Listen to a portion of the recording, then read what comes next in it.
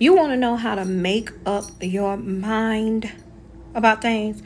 Yeah, I am a Libra and I'm the one of the biggest ones that has an indecisive type of aura. Okay? Let me give y'all some healthy things to do to make up your mind on things. Number one, I'm going to need you to decide what you want. Look at the choices you have to make and the options that are available. You need to consider what you want and remove the things that you don't need.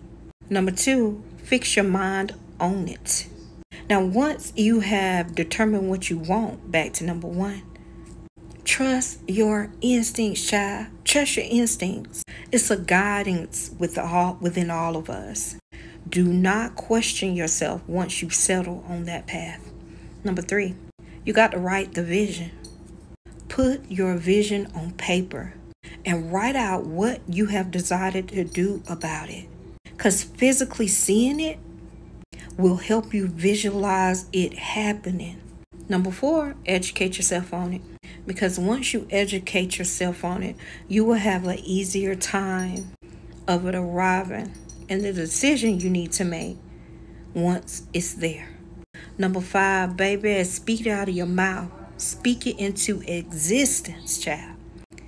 Words have an immense amount of power. Six, be grateful in it now. Be grateful as if you already got it. And number seven, stop being led by your feelings. It doesn't work like that. Do not allow your feelings to lead you. Because we are human, um, we are ruled by our emotions, correct? They can bring positive experiences into our lives or they can destroy us.